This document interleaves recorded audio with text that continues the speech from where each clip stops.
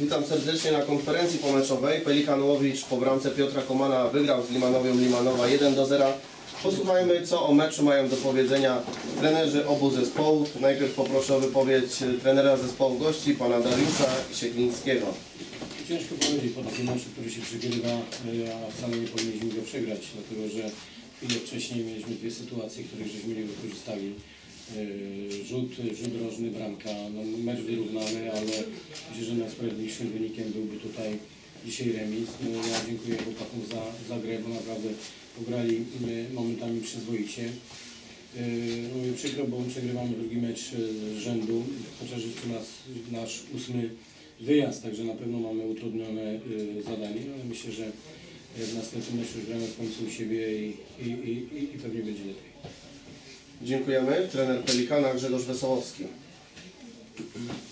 Ja powiem tak, myślę, że y, nasze zwycięstwo zasłużone i pozwolę sobie nie zgodzić się z trenerem y, drużyny gości, że najsprawiedliwszym wynikiem byłby remis, ponieważ w przekroju całego meczu, szczególnie w pierwszej połowie, gdzie mieliśmy kilka wyśmienitych sytuacji, co zrobić się powinniśmy ten mecz rozstrzygnąć o wiele wcześniej, nie doprowadzać do, do tej takiej nerwowej drugiej części, drugiej połowy. Zawodnicy chcieli bardzo, widać to było na każdym meczu boiska. E, Byliśmy zmotywowani. Może kładło się też wiele, przez to wiele niedowolności. E, Dlatego e, myślę, że, że to zwycięstwo pozwoli, pozwoli na taki, taki głębszy oddech. Wrócą zawodnicy, którzy pauzowali dzisiaj za kartki. Myślę, że w następnych meczach również będziemy punktować. Dziękuję. Dziękujemy. Zapraszam do zadawania pytań. Ja mam e, pytanie do trenera Wesołowskiego. Trenerze, za tydzień już wraca Świątek po czerwonej kartce, tak?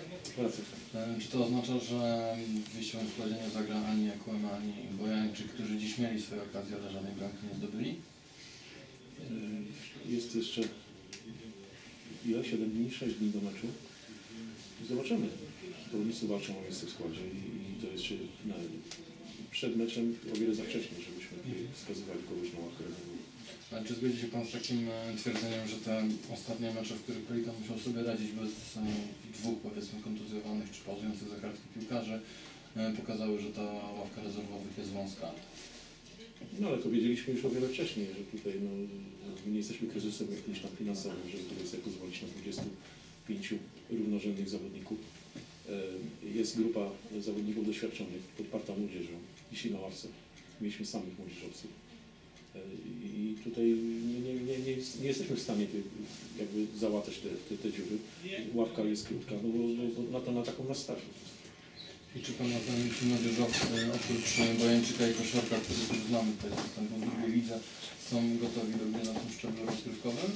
No, jakby nie był gotowy Bączak, to by dzisiaj nie wszedł na boisko. No, każdy z tych chłopaków może jest, jest uważam, e, taką dużą nadzieją tutaj środowiska łowickiego, bo rzeczywiście robią postępy z każdym, z każdym, z każdym treningiem, z każdym meczem. Dziękuję bardzo. Dziękuję. Ja mam pytanie, jak Pan oceni grę w obronie Dominiczaka?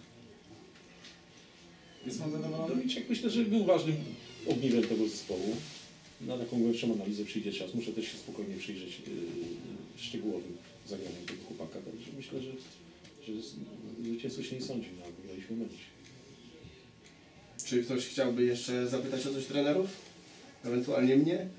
Jeśli nie ma pytań, to dziękujemy.